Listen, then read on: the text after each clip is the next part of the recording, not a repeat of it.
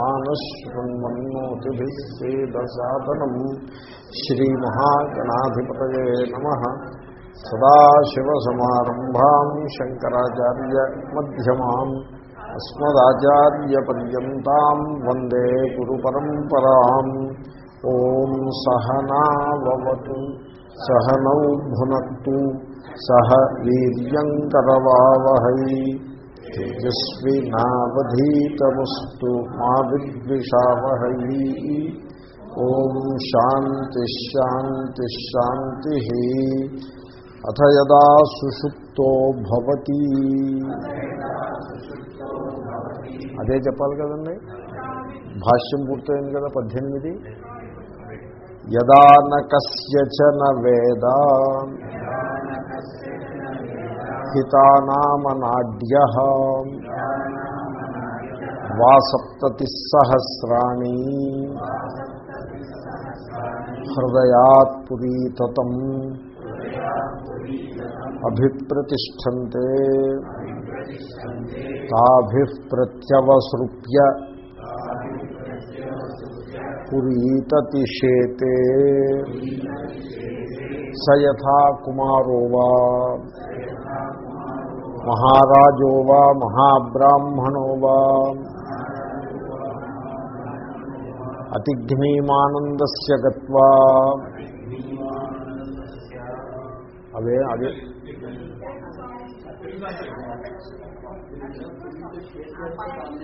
తర్వాత పేజీల్లో వస్తుంది. ఇంకో ముందుకు వస్తుంది పురీతతి చేతే ఎంతవరకు అట్ట పెట్టుకుంటుంది. సో అథ యదా సుషుప్తో భవతి. ఏ కాలం నుండైతే ఈ మనిషి నిద్రిస్తాడో మనిషికి ఆయన ఎన్ని మార్పులు ఎన్ని ఎంత వ్యవహారం చేశారో చూసారా మనిషి అనొచ్చు. మనిషిని మనిషి అనొచ్చు. సినిమాయే మనిషి మనిషియే సినిమా మనిషిని తల్లకిందులు చేస్తే ఏమొస్తుంది? సినిమా వస్తుంది. అదొకటి గమనించాలి మనిషి అంతా మసి. అది ఇంకోటి మనిషిలో హృదయంలో మసి. మసి అంటే కాలుష్యం.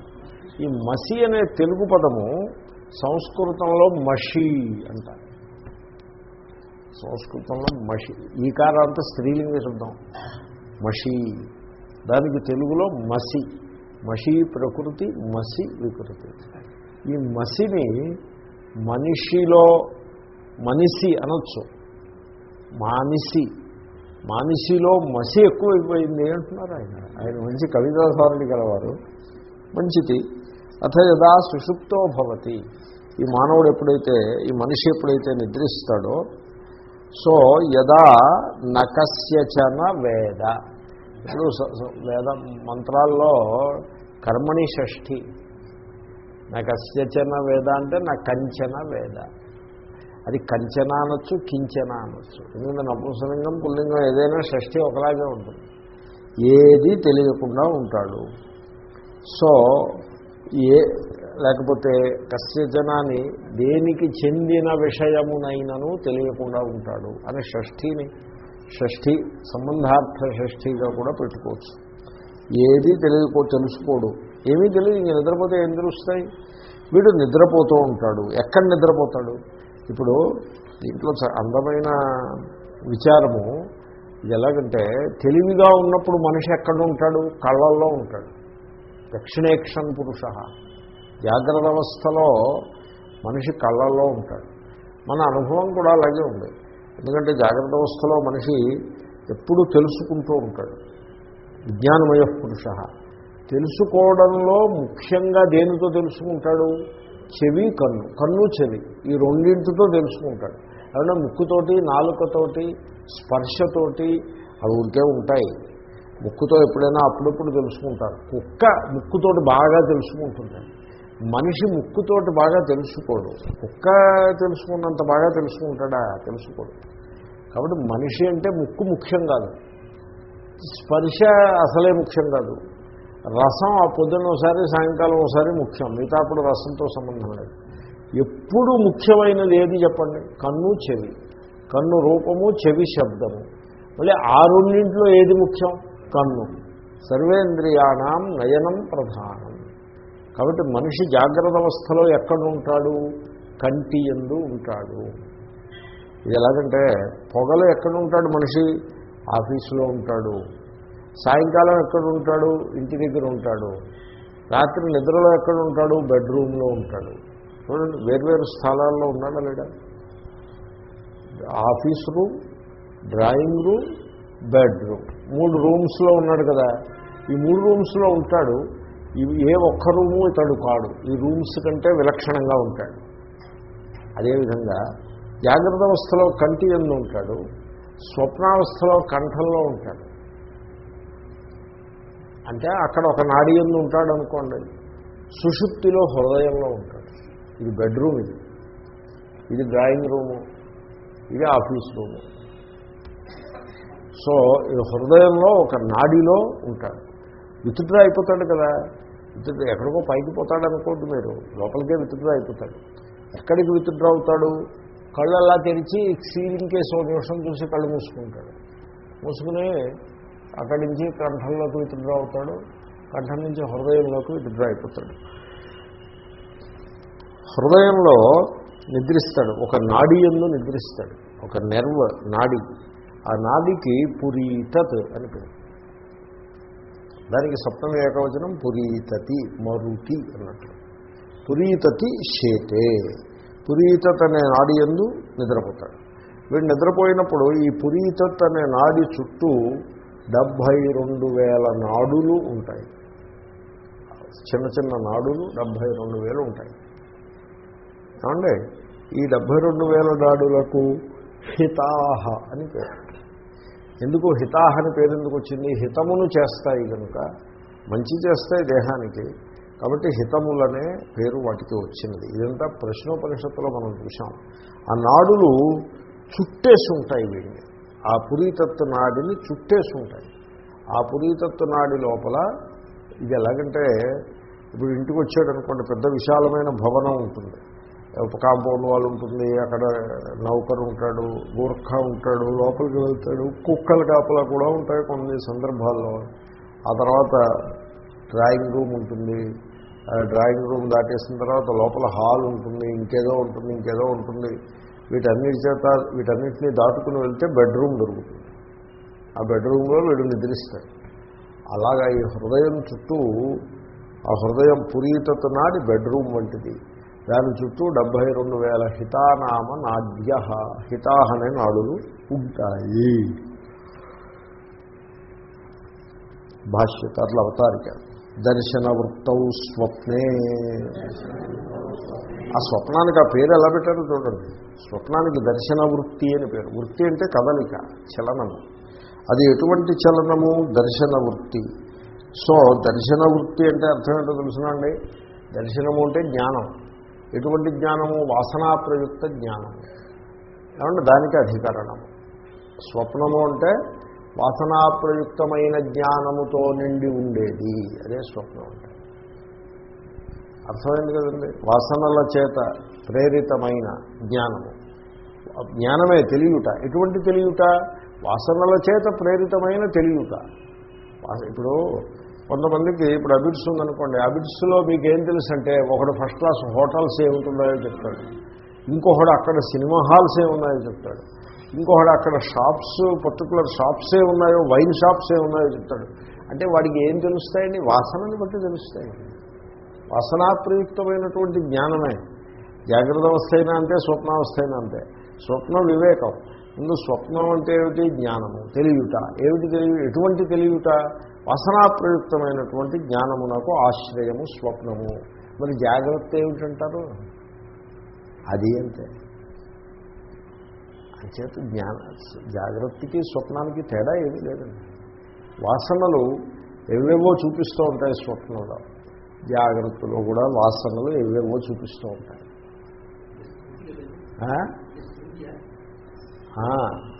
స్మృతి. అవును. మొత్తానికి జాగ్రత్తలో మీకు తెలిసివన్నీ వాసనాప్రయుక్తములే కదండి. మనస్సు చేత ప్రాజెక్ట్ చేయబడుతూ ఉంటాయి. ఎటొచ్చి జాగ్రత్తలో ఇంద్రియాలు ఉంటాయి స్వప్నంలో ఇంద్రియాలు ఉండవు ఆ మాత్రం తేడా ఉంటుంది. కానీ తెలియబడే వాటి సత్యత్వం సమానమే రెండింటి ఎందుకు కూడా. రెండు కూడా మిథ్యయే ఎనివే దర్శన వృత్తౌ స్వప్నే. జ్ఞానమునకు ఆశ్రయము. దర్శనము అంటే జ్ఞానము. వృత్తి అంటే ఆశ్రయం ఎటువంటి జ్ఞానము? వాసనాప్రయుక్తమైనటువంటి జ్ఞానమునకు ఆశ్రయమైన స్వప్నమునందు. వాసనారాశే దృశ్యత్వాత్. తద్ధర్మత ఇది విశుద్ధత అవగత ఆత్మన ఆ స్వప్నమునందు ఆత్మ విశుద్ధము అనగా అసంగము అని మనం తెలుసుకున్నాం అవగత.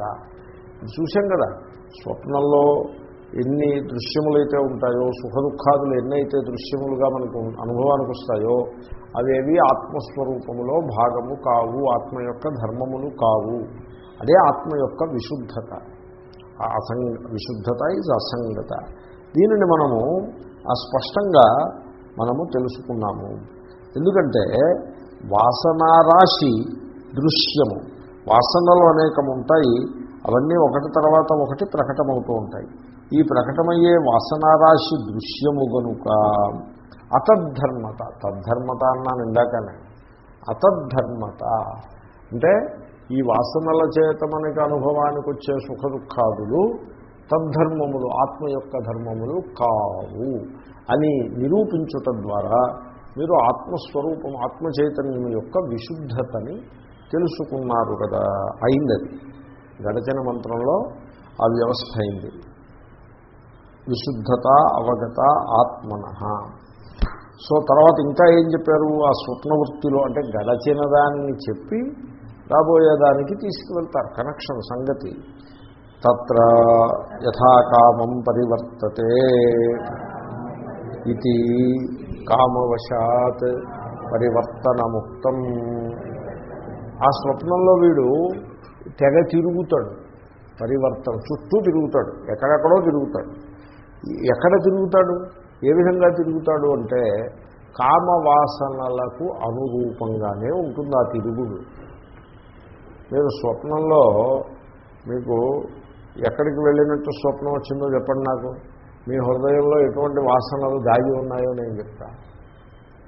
సపోజ్ నాకు సినిమా హాల్కి వెళ్ళి సినిమా చూసినట్టు స్వప్నం వచ్చిందండి. అంటే అర్థం ఏంటి? నా హృదయంలో సినిమా చూసుట అనే వాసన గట్టిగా నిలిచి ఉంది అని అర్థం. యథాకామం పరివర్తతే. ఆ కామవాసనలు ఎలా అయితే ఉంటాయో వాటికి తగ్గట్టుగా వీడు యథేచ్ఛగా యథాకామం అంటే యథ యథాకామం అనపిక్రమ్య. వాడి హృదయంలో ఉండే కామనలకి తగ్గట్టుగా సంచారం చేస్తూ ఉంటాడు. యథాకామం అంటే యథేచ్ఛం అని కూడా అర్థం. అంటే వాడి ఇచ్చలు ఎలా అయితే ఉంటాయో దానికి తగ్గట్టుగా సంచారం చేస్తూ ఉంటాడు. అక్కడ రెండు రకాలుగా చెప్పచ్చు. ఒకటి స్వప్నంలో వీడు సర్వస్వతంత్రుడు. యథేచ్ఛగా సంచరిస్తాడు. యథేచ్ఛగా సృష్టించి మరీ సంచరిస్తాడు. ఏమంటే అదొక అర్థము. ఇంకొక అర్థము యథాకామం అంటే కామాన్న అనతిక్రమ్య.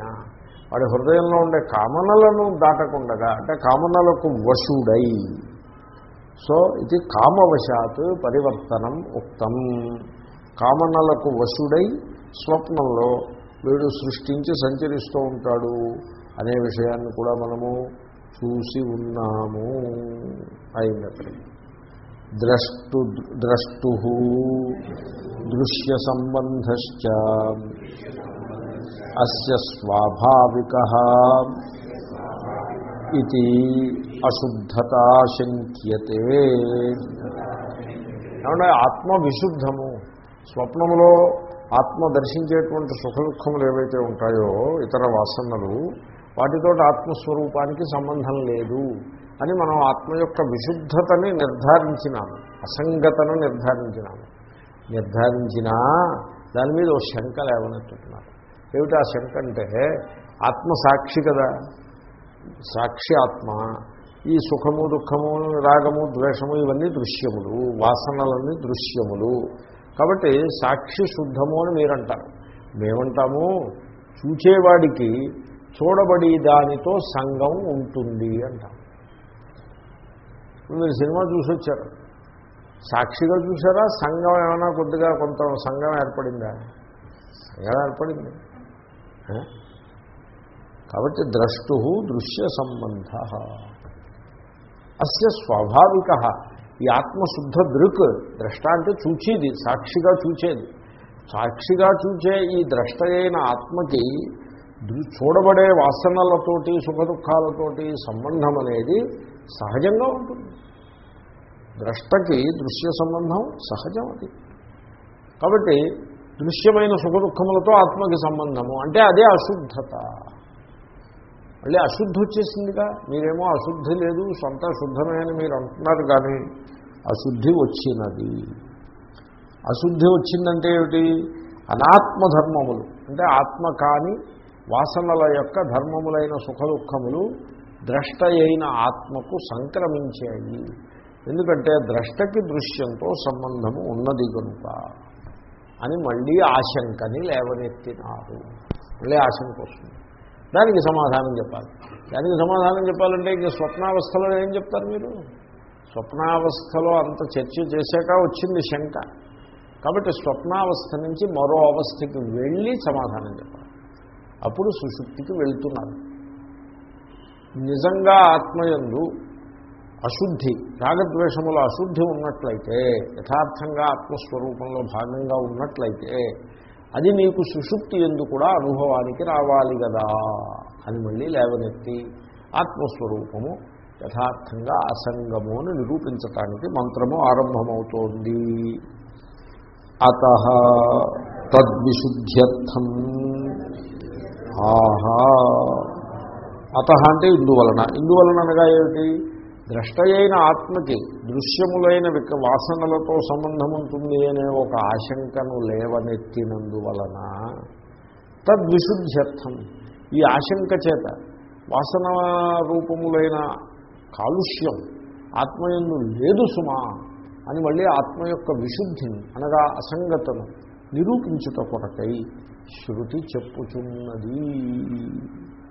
సో అథ యదా సుషుప్తో భవతి. అని మా మొదలుపెట్టారు. సో అథ అంటే తరువాత. తరువాత అంటే ఏమిటి? జాగ్రత్త అవస్థ చెప్పారు మొట్టమొదట. మీరు గుర్తుంటే జాగ్రత్త అవస్థ చెప్పారు ముందు. తర్వాత స్వప్నావస్థ చెప్పారు. తరువాత అంటే జాగ్రత్త స్వప్నావస్థలను చెప్పిన తరువాత. పైగా ఎలా చెప్పారు ఆ రెండింటిలో?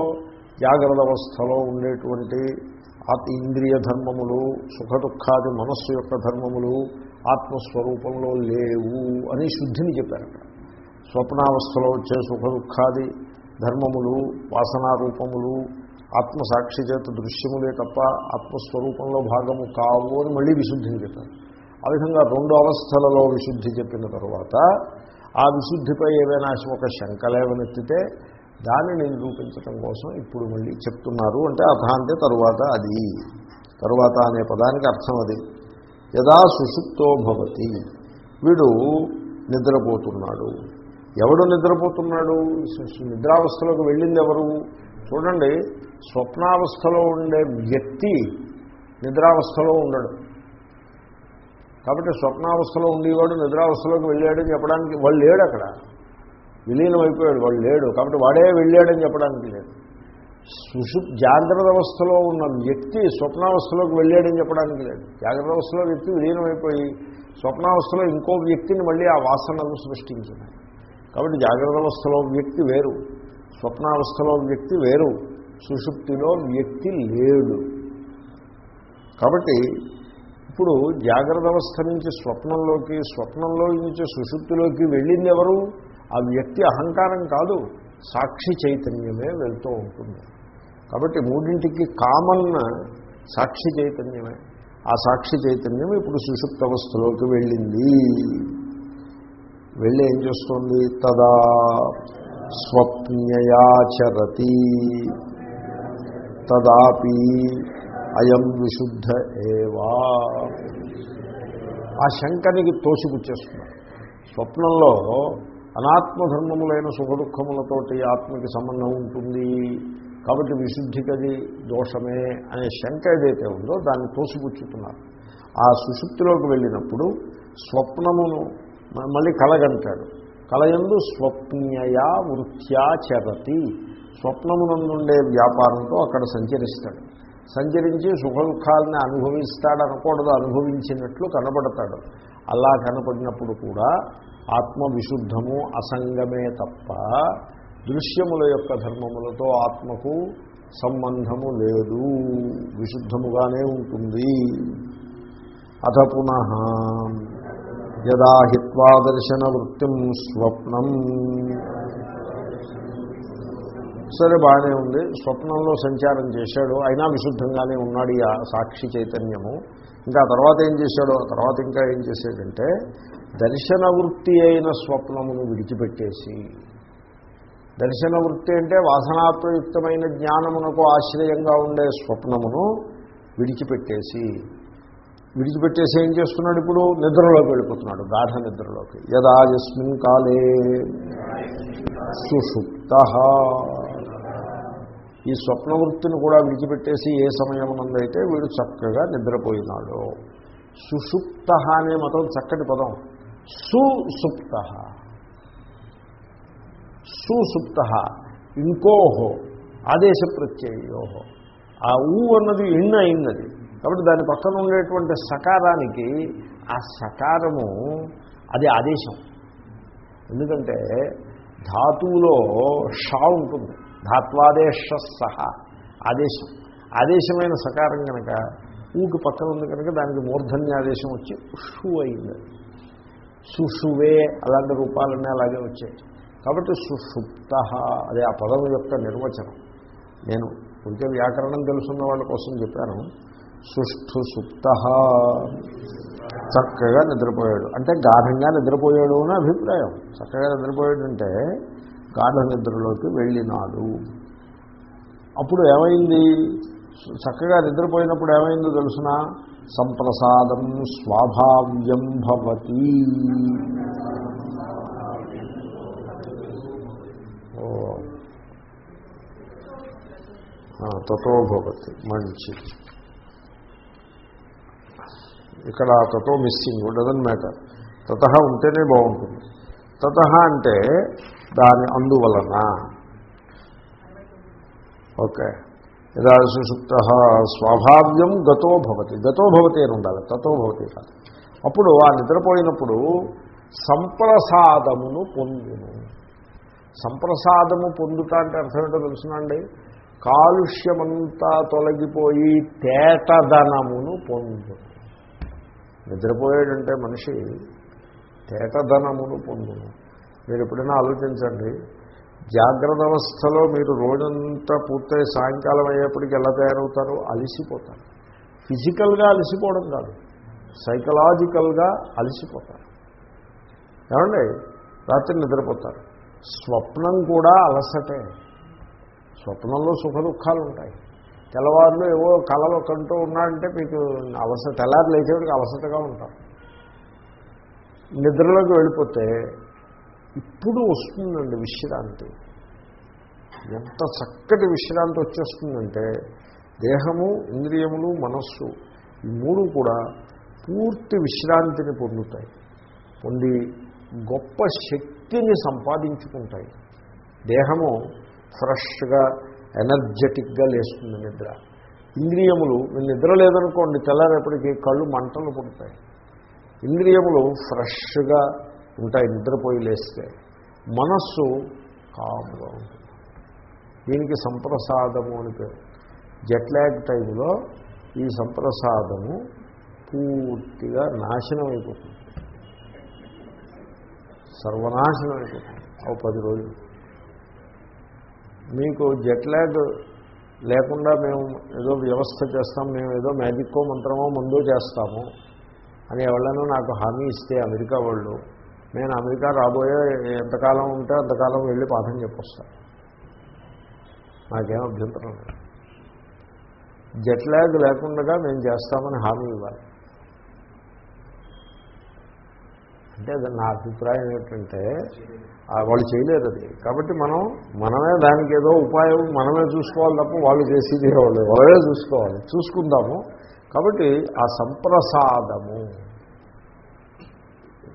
స్వాభావ్యం అంటే స్వరూపము ఆత్మస్వరూపమైనటువంటి సంప్రసాదము లోకి వెళ్ళిపోతారు. ఈ సంప్రసాద శబ్దాన్ని దాన్ని వర్ణించగలుగుతాం తప్ప ట్రాన్స్లేషన్ కొంచెం కష్టం అవుతుంది.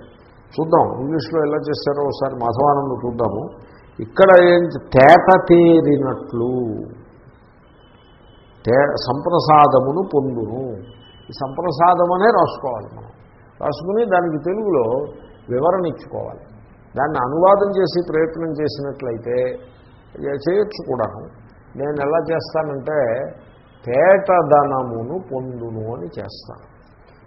ప్రస్తుతానికి నాకు అంతే తోచింది. సో అది వాడి స్వరూపం అది. ఆ స్వరూపంలోకి వెళ్ళిపోతాడు. అంటే ఇంతవరకు స్వరూపాన్ని విడిచిపెట్టి బయట చిందులు వేసినాడు జాగ్రత్త అవస్థలోనూ స్వప్నావస్థలోనూ.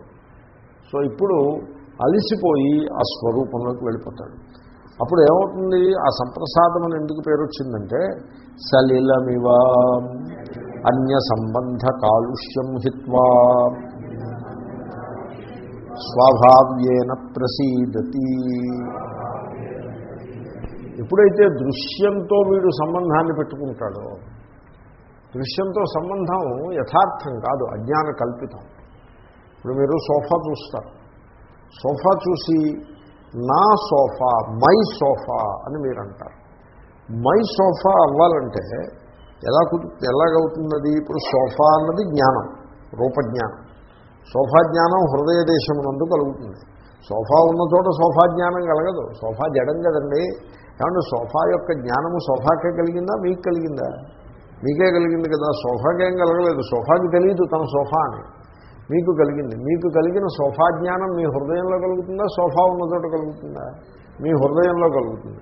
కాబట్టి సోఫా జ్ఞానము ఇప్పుడు ఎక్కడున్నట్టు? హృదయంలో ఉంది. నేను జ్ఞానం ఎక్కడున్నట్టు? హృదయంలో ఉంది. నా సోఫా అని మీరు అన్నారంటే ఈ నేను కాస్త సోఫా అయిపోయిందనమాట you become the sofa when you say my sofa you become the sofa అదే కాలుష్యం. ఏమంటే అదే కాలుష్యం అండి. ఆ కాలుష్యము ఇది ఎలా అంటే స్వచ్ఛమైన నీటిలో కొంత మట్టి ముద్ద ఒకటి పారేసినట్టు. అని ఆ మట్టి ముద్ద నీరంతా కూడా చల్లచంద్ర దుమ్ము వేసినట్టు స్వచ్ఛమైన నీటిలో కొంత దుమ్ము వేసినట్టు. ఆ నీరంతా కలుషితం అవుతుంది నా సోఫా అనగానే వీడి స్వరూపం అంతా కలుషితమైంది. నా ఇల్లు ఇంకొంచెం కలుషితమైంది. నా భార్య అంటాడు. నా భార్య అంటే మరి ఏదో లోకదృష్టిగా అంటే అనొచ్చు కానీ తత్వమే ఆత్మస్వరూపమే అలాగని చెప్పడానికి వీల్లేదు. సో అది ఇంకా కలుషితమవుతుంది. పోనీ నా భార్య అంటే అంత కలుషితం కాకపోవచ్చు. నా పుత్రుడు అంటే చాలా గట్టిగా కలుషితం నా పుత్రిక అంటే అంత కలుషితం కాకపోవచ్చు. నా కుక్క అంటే మరింత కలుషితం అవుతుంది కుక్క పిల్లి వాటి ఎందు నా ఇలాగా తర్వాత ఈ క్రియ ఉంటుంది. క్రియ దేహేంద్రియాదులు చేయబడే క్రియ. ఈ క్రియకి కర్తను నేను కాలుష్యం. దీనికి ఫలాన్ని నేను భో భోగించాలి కాలుష్యం. ఈ విధంగా ఆ కాలుష్యం అంతా నిండి ఉంటుంది హృదయంలో. ఇప్పుడు నిద్రావస్థలోకి సుషుప్తిలోకి వీడు వెళ్ళగానే ఆ కాలుష్యం అంతా పోయింది. అన్య సంబంధ కాలుష్యం హిత్వ. అందుకోసం నేను అలా వ్యాఖ్యానం చేశాను. ఈ కాలుష్యం ఏమిటంటే ఇతరముతోటి లేని సంబంధాన్ని ఆరోపించుకోవడమే కాలుష్యం. ఈ కాలుష్యమును వీడు నిద్రావస్థలో విడిచిపెట్టేస్తాడు. ఈ నిద్రావస్థ ఎలాంటిదంటే నిద్రపోయే ముందు కోటు కోటు విప్పేసి అక్కడ పెట్టి పడుకుంటాడు. కోటు ఒక్కటే కాదండి. మమ మమకారమంతా విప్పేసి అక్కడ పెట్టేసి పడుకుంటాడు. అహం అహంకారం కూడా అక్కడ విప్పేసి పెట్టేసి పడుకుంటాడు. మమకారము అహంకారము. అజ్ఞాన కల్పితములు అభిమానము అని పేరు వాటికి వాటిని తిరస్కరించి త్రోసిపుచ్చి తన స్వరూపంలోకి వెళ్ళిపోతాడు. ఇది ఎలాగంటే నీరు దాంట్లో వేసిన దుమ్మునంతని ఆ మురికినంతని విడిచిపెట్టేసి తేట పడిపోతుంది నీరు. ఆ దుమ్మంతా కిందకి పోతుంది నీరు దాన్ని దుమ్ముని విడిచేస్తుంది. విడిచేసి తేట నీరు బయటకు వస్తుంది. అలా అయిపోతుంది వీడి పరిస్థితి. స్వభావ్యేన ప్రసీదతి. స్వరూపము చేతనే స్వభావ్యము అంటే స్వరూపము. ప్రసన్నుడు ఆగు అది నిద్రావస్థ. మీరు నిద్రావస్థలో కలిగే శక్తి మీకు శక్తి లభిస్తుంది నిద్రావస్థలో. ఫ్రెష్నెస్ ఒక నూతనత్వము మీకు లభిస్తుంది. మీరు ఈ ఎక్స్ప్లెయిన్ చేయండి ఎలా ఎక్స్ప్లెయిన్ చేస్తారు? ఎక్స్ప్లెయిన్ చేయమని ఎందుకు అడుగుతున్నానంటే అడ్వర్టైజ్ చేస్తారు. మీరు బూస్ట్ తాగితే శక్తి వస్తుంది అంటాడు ఓకే? వస్తుంది ఎక్కడి నుంచి వస్తుంది? దాంట్లో ఇరవై మూడు పోషక పదార్థములు గలవు వాటి నుంచి వస్తుంది. అంతే కదా? గోధుమ పిండిను పంచదార ఉంటాయి మెయిన్గా మిగతాలు ఏవో కొన్ని వేస్తే మిల్క్ పౌడర్లు ఇవేవి ఆ పోషక పదార్థాల నుంచి వచ్చింది శక్తి బూస్ట్ తాగితే వచ్చింది మంచిదండి. నిద్రపోతే శక్తి వచ్చింది. ఇది ఎక్కడి నుంచి వచ్చింది? నిద్రపోవడం అంటే మీరు అక్కడ కూర్చుని ఏమైనా దిగి లిక్విడ్లో వేయం తాగడం కాదుగా. ఆ శక్తి ఎక్కడి నుంచి వచ్చింది? మీరు ఆలోచించాలి. నిద్రావస్థ యొక్క వివేకం ఉండాలి. ఈ బూస్ట్ నిద్ర లేకపోతే ఈ బూస్టులు డజన్ బూస్టులు ఉన్నా ఎందుకు పనికిరావు? హాయిగా నిద్రపోయి లేస్తే మంచినీళ్ళు చాలు బూస్ట్ అక్కలదే అక్కల కాబట్టి అది ఆ స్వరూపము అది ఎలా వర్ణించగలరు దాన్ని? దాని వలన కలిగే కార్యము దాని వలన కలిగే ప్రయోజనాన్ని చెప్పుకుని అది అది గొప్పదని అనుకోవడం తప్ప దాన్ని ఇదమిత్తంగా ఎవరు వర్ణించగలరు? ఎన్నడూ వర్ణించలేరు. కాబట్టి దాని నుంచి వచ్చే ఎఫెక్ట్స్ని బట్టి అది అదేదో ఉంది అని అలా భావన చేయటం. కదా సుషుప్తో భవతి. బాగుంది. గాఢ నిద్రను చక్కగా వర్ణించారు బాగానే ఉందండి. అసలు ఎప్పుడు వీడు గాఢ నిద్రని పొందుతాడు? అన్నది చెప్తున్నారు. యదా యస్మిన్ కాలే నకస్యచన నకించనేత్యర్థ వేద విజానాతి ఏ కాలం నుందైతే ఏది నా కస్యచన అంటే నకించన ఆ నా తీసుకెళ్ళి వేదా ముందు పెట్టుకోవాలి. ఏది తెలుసుకోలేడు.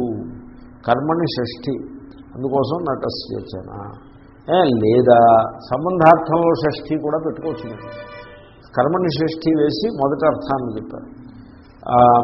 రెండో పక్షంలో సంబంధార్థ షష్ఠి కూడా రెండో పక్షంలో చెప్పబోతున్నారు. ఏది వీడు తెలియడు దేనిని తెలియడు దేనిని తెలియడు అంటే అర్థం ఏంటో తెలుసునండి? ప్రమాతృత్వము ఉండదు. అలాగా అన్నీ తెలుసుకుంటూ ఉండడము చాలా పెయిన్ఫుల్ అండి. మీరు అర్థం చేసుకోండి. అన్నీ తెలుసుకుంటూ ఉండడం చాలా పెయిన్ఫుల్ మీకు దృష్టాంతం చెప్తా. నాకు అనుభవానికి వస్తూ ఉంటుంది మీకు కూడా అనుభవమే ఉంటుంది. నేను జోగుతూ ఉంటాను. నిద్ర వస్తూ ఉంటుంది జోగుతూ ఉంటాను. పక్కన ఉన్నవాడు ఏదో చెప్తూ ఉంటాడు. చెప్తూ ఉంటే ఇంక నువ్వు ఆపేసే చెప్పడం నేను విని అర్థం చేసుకోవడం నాకు శ్రమ అనిపిస్తోంది. నేను వినడం మానేస్తాను. అర్థం చేసుకోవడం మానేస్తాను. అంటే ప్రమాతగా ఉండడం మానేస్తాను. అని మనం ఉబలాట పడుతూ ఉంటాం. అయితే నువ్వు ప్రమాతగా ఉండి తీరాల్సిందే అని ఆయన చెప్పేస్తూనే ఉంటాడు. మీకు అర్థమైందా ఇది? ఇప్పుడు మీరు నిద్రపోదాం అనుకుంటే చెప్పేవాడు అలా కథ కింద చెప్తుంటే ఇబ్బంది ఎక్కడ వస్తుంది మిమ్మల్ని ప్రమాత చేసి కూర్చోబెడతాడు. నాకు ఇది బాగా అనుభవం. కారులో వెళ్తుంటే నేను నిద్రపోతామని నిద్రపో నిద్రలోకి వెళ్ళిపోతాను. నేను నిద్రపోతున్నాను ఆల్రెడీ. స్వామీజీ మీరు ఆ సీట్ని వెనక్కి జరుపుకోవచ్చు అని చెప్పేసి చెప్తాను లేపి నిద్ర లేపి వెనక్కి జరుపుకోవచ్చు. అంటే నేను ఇప్పుడు ఏమని చెప్తానంటే సర్లేండి ఇంకా నా నిద్ర మీరు ఎలాగో చెడగొట్టేశారు. ఈసారి మళ్ళీ ఇంకోసారి ఎప్పుడైనా మీతో కలిసి ప్రయాణం చేసినప్పుడు అప్పుడు నిద్రపోతాను నేను అని చెప్తాను. అలా చెప్తాను. ఎందుకు చెప్తానంటే by the time you make me a promise you have taken away the comfort of sleep తర్వాత ఇంకో మాట చెప్తా. సీటు వెనక్కి జరుపుకుని తరగడా పెట్టుకుని మీరు అంత ప్లాన్ చేసిన తర్వాత ఇంక నిద్ర రాదు. అది ఆ ప్రభాత విలీనమైపోయే స్థితి వచ్చినప్పుడు నేను స్వామీజీ పూజ స్వామీజీ ముందు సీట్లో కూర్చున్నారు. స్వామీజీ నన్ను రమ్మంటారు ఎందుకంటే మధ్యలో మాట్లాడడానికి. నేను డయాగనల్గా కూర్చుంటా ఎందుకంటే ఆయన డయాగనల్గా అప్పుడప్పుడు తల వెనక్కి చెప్పి చూస్తూ ఉంటాను ఆయన ఏదో కర్మణ్యకర్మ స్పశ్యత శ్లోకం గురించి ఏదో చర్చ మొదలుపెట్టారు. సరే నేను చెప్పేది ఏదో చెప్తున్నా. వెళ్ళిందే అందు గురించి కదా. ఈ లోపల నేను చెప్తున్నాను కొంచెం లంబా సెంటెన్స్ చెప్తున్నాను. తక్కువ డ్రైవ్ చేసేవాడు అలా అన్నాడు ఎందుకంటే ఆయన జోగుతున్నారు. ఇలా నేను మాట్లాడుకుంటున్నాను నా ఫుల్ స్టాప్ మధ్యలో సెంటెన్స్ మధ్యలో కట్ అయిపోయింది. ఈ లోపల ఏలంటోన్ ఎయిర్పోర్ట్కి వెళ్తూ ఉంటాయి ఈ లోపల ఎయిర్పోర్ట్ దగ్గర అయింది ఆయన లేచి ఆ తర్వాత? అన్నారు. అంటే అప్పుడు మళ్ళీ మొదలుపెట్టి చెప్పా. ఇప్పుడు ఎక్కడ ఆపానో అక్కడ మొదలుపెట్టి చెప్పా. ఈ లోపల ఎయిర్పోర్ట్ వచ్చింది. బాగుందండి నేను వెళ్ళొస్తాను. మీరు ఏం చేస్తారు? నేను ఇలా సత్సంగానికి వెళ్ళిపోతాను. మంచి. అని ఆయన లోపలికి వెళ్ళిపోయారు. కాబట్టి సో ఆ ప్రమాతగా మీరు చేయడమే చాలా శ్రమ అయిపోతూ ఉంటుంది. ఆ ప్రమాతృత్వము విలీనమైపోవడమే గొప్ప విశ్రాంతి. మీకు ఈ విశ్రాంతి నిద్రలో వస్తుంది మరో చోట కూడా వస్తుంది. అదేమిటో తెలుసునండి శమతా మెడిటేషన్. అక్కడ మీకు విశ్రాంతి వచ్చేస్తుంది. మరి ఇప్పుడు ఆ శమతా మెడిటేషన్ ఎక్కడి నుంచి వస్తుంది? వస్తుంది. మీలో కావాలని అడిగిన వారందరికీ కూడా పది శమతా మెడిటేషన్ సెషన్స్ ఉన్న సీడీని ఇవ్వడానికి వ్యవస్థ అవుతోంది. శ్రీరామ్ గారు చేస్తున్నారు. ఇంకా సీడీలు తొందరలో ఇస్తాం. తెలుగు సీడీలు. ఆ శమతా మెడిటేషన్ చేసినట్లయితే మీకు ఆ ప్రసాదం వచ్చేస్తుంది. ఏ దేవాలయాల్లో ప్రసాదం పెడతారు చూసారా? అది ఇదే. అదే ప్రసాదం. దీనికే సింబల్ అది. నేను ఈ మాట గత ఇరవై ఏళ్ళ నుంచి చెప్తున్నాను. అలాగ లోన్ వాయిస్ రే ప్రసాదం అంటే ఇది రోయ్ ప్రసాదం అంటే ఇది మరో. గీతలో ప్రసాదం చూసారా అది ఇదే. ప్రసాదే సర్వ దుఃఖాన ఈ సంప్రసాదం. ఈ సమ్ అనేది ఉపసర్గ. ప్రసాదమే సంప్రసాదం. ఇదే ప్రసాదం. అరే ప్రసాదం అంటే లడ్డూలు కాదురా అని నేను ఎప్పటి నుంచో చెప్పుకొస్తున్నా. లోన్ వాయిస్ ఎనీవే సో నకంచన వేద. కస్య జనాన్ని కర్మని సృష్టి చేస్తే ఏమీ తెలియకుండా అయిపోతాడు. ఎంత ఆనందం అండి ఏమీ తెలియాల్సింది లేదు. ఎంత విశ్రాంతి వచ్చేస్తుంది. కస్యచన వా శబ్దాదే సంబంధీ. వస్త్వంతరం కించన నవేద ఇది అధ్యాహార్యం. ఏమిటి అధ్యాహారం చేసుకోవాలి నకస్యచన వేద అని అధ్యాహారం చేసుకోమంటున్నారు ఏమిటో అక్కడ? ఇంకొక వస్తువు అని అధ్యాహారం చేసుకోవాలి. కస్యచనానగా కించిన దేనినైనాను కర్మనిషష్ఠి అనే అర్థము లేదా శబ్దము మొదలైన ఏ విషయమునకు సంబంధించినదైనను సంబంధార్థములో షష్ఠి ఆకాశము మొదలగు పదార్థమును దేనినైనను తెలియకున్నాడో అప్పుడు నిద్రించినాడని అర్థము ఈ అర్థములో కించన దేనినైనను అనే పదమును అధ్యాహారము కొత్తగా కల్పించుకొనుట చేయవలెను. అదండి అధ్యాహారం. అంటే కస్యచన కించన నవేద దేనికి సంబంధించిన సంబంధార్థే షష్ఠి దేనికి సంబంధించిన ఏ వస్తువునైనను తెలియటం లేదు శబ్దానికి సంబంధించింది ఆకాశం గంధానికి సంబంధించింది పృథివీ. ఆ సంబంధముతో సహా దేని దేనికి సంబంధించిన దేనిని దేనిని తెలియకున్నాడో అని కించన అనే పదాన్ని అధ్యాహారం చేసుకుని మీరు వాక్యాన్ని రాయవచ్చును. అది.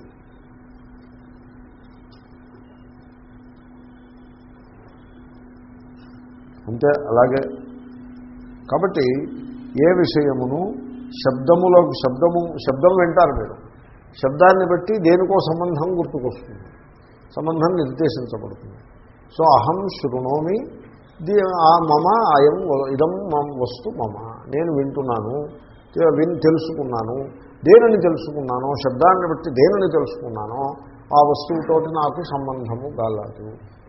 అహంకారము మమకారము ఇదే బంధ ఇదే మీకు శ్రమ. ఆ శ్రాంతి. శ్రమ అన్న శ్రాంతి అన్న ఒకటే. విశ్రాంతి శ్రమ తొలగుటయే విశ్రాంతి. విశ్రామ అన్న అదే అర్థం దీర్ఘం వస్తుంది.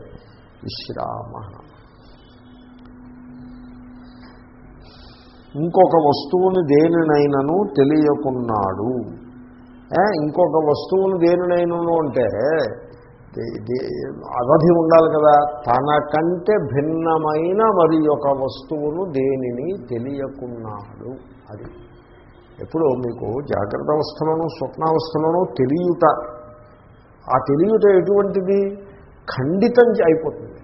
నేను తెలియవాడను ఇది తెలియబడేది అని ఖండితం అవుతూ ఉంటుంది. అలా కాకుండా శమతా మెడిటేషన్లో తెలివిగా ఉంటారు. తెలియుట అనే ఖండితమైన జ్ఞానం ఉండదు అఖండాకార అఖండ జ్ఞానము ఉంటారు అఖండాకార వృత్తి అంటూ ఉంటారు. ఖండన లేని అంటే రెండు ముక్కలు అగ్గుట లేని శుద్ధమైన తెలివిగా ఉంటారు. అదే అద్వైతం అంటే అదే దాంట్లో రెండు ఉండవు ఆ తెలివి. ఆ తెలివే దేవుడన్నా ఆ తెలివే జీవుడన్నా ఆ తెలివే. వీడు లక్ష పేర్లు పెడతాడు ఆ తెలివికే. దాని అదే దేవుడదే జీవుడదే. మరి ఇంతకీ మరి మేమంతా అదే తెలుసుకుని మోక్షాన్ని పొందకుండా ఎందుకు ఇబ్బంది పడుతున్నామంటే ఏమో మీరే చెప్పండి ఎందుకు ఇబ్బంది పడుతున్నారు? మిమ్మల్ని ఎవడు పడమన్నాడు ఇబ్బంది? ఆ తెలివియే స్వరూపము అదియే దేవుడు అదియే బ్రహ్మ అని తెలుసుకుని అలాగా ఆ నిష్టగా ఉండిపోతే అదే మోక్షం. అదే మోక్షం.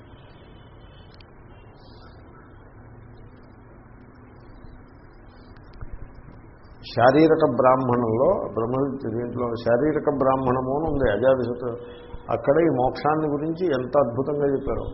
కొంతమంది రంగులు చెప్తారు. నీలంగా ఉంటుంది పచ్చగా ఉంటుంది ఎర్రగా ఉంటుంది అని చెప్తారు. అక్కడ శంకర్లు ఏమంటారంటే ఇది ధ్యానంలో ఈ నీలము ఎర్రన పచ్చనామలైన రంగులన్నీ సంసారంలో అంతర్గతములే అని చెప్పారు. ధ్యానంలో రంగులంటే ఇదేమన్నా పెయింటింగా? ఈ పెయింట్ వేద్దామా ఆ పెయింట్ వేద్దామా? తర్వాత ఈ యోగా ఈ హఠయోగులు ఉన్నారు.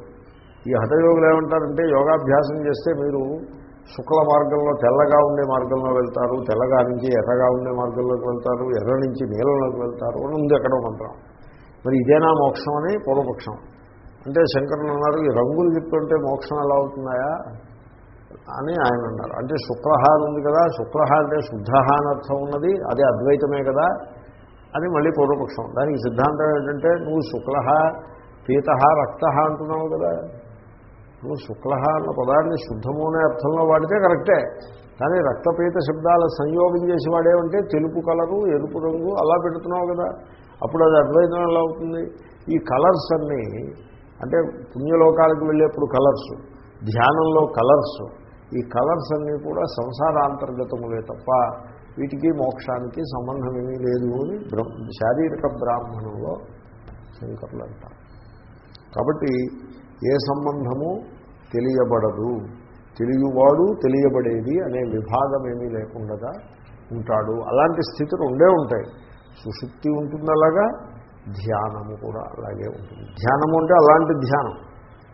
విధిధ్యాసన రూపమైన ధ్యానం. ధ్యానం అంటే మేము మేము రాముడిని ధ్యానం చేస్తున్నామండి కృష్ణుని ధ్యానం అలాంటి ధ్యానంలో మళ్ళీ ద్వైతమే ఉంటుంది. అక్కడ దానికి వర్తించదు పూర్వంతు న్యాయం సుప్తేతు విశేష విజ్ఞానాభావస్య వివక్షితత్వాత్. ఇప్పుడు కస్యచన అన్నది కర్మని షష్ఠీ తీసుకుంటే బాగుంటుందా? కస్యచన కించన అన సంబంధార్థాన్ని చెప్పి కించన ఏ వస్తువునైనాను అని అధ్యాహారం చేసి ఏది చెప్తే బాగుంటుంది అంటే ఆ మొదటి పక్షమే బాగుంటుంది. ఎందుకంటే సుషుప్తి ఎందు రెండవది లేదు తెలియట లేదు అని చెప్పాలి. ఇంకొకటి ఉంది దాంతో వీడుకున్న సంబంధము. ఇంతటి ద్వైతం ఎక్కడుంది సుషుప్తిలోను? కాబట్టి టెక్నికల్గా వ్యాకరణం ప్రకారం కస్యచన సంబంధి కించన నవేద అని మీరు చెప్పచ్చు. కానీ అలా చెప్పడం కంటే కర్మని షష్ఠి చెప్పుకుంటేనే చాలా బాగుంటుంది అని రెండు పక్షాలు చూపించి రెండో పక్ష మొదటి పక్షానికే ఓటు వేశారు శంకరులు. ఎందుకంటే కస్యచన కించన అనే తేడాలు విశేష విజ్ఞానము అంటారు. తేడాతో కూడిన తెలియట. తెలియవాడు తెలియబడేది. ఈ తెలియబడేదానికి సంబంధించినది మరొకటి. అని ఇంతటి ద్వైతంతో కూడిన విజ్ఞానము లేదు సుశుక్తిలో కాబట్టి కశ్య కస్య లేనప్పుడు దాన్ని అంతని వ్యవస్థ చేయటం అనవసరం. కాబట్టి కస్యచన అంటే కించన కర్మని షష్ఠియే చెప్పుకుంటే బాగుంటుంది. వీటిలో ముందు చెప్పిన అర్థమే యుక్తియుక్తముగా నుండును. ఎందుకంటే నిద్రించినప్పుడు వివిధ పదార్థముల జ్ఞానము ఉండదు అని చెప్పుట ఎందు మాత్రమే శృతికి తాత్పర్యము గలదు. ఓకే? అక్కడికి ఆ మంత్రంలో ఆ సగభాగం పూర్తయింది. ఇప్పుడు రెండో సగం ఒకసారి అందాము.